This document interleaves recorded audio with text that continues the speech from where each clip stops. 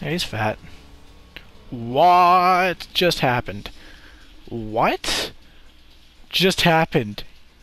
Dude, he just dropped like a million engrams for me. I'm not even joking. No. What just happened? They, they keep on dropping! Oh, oh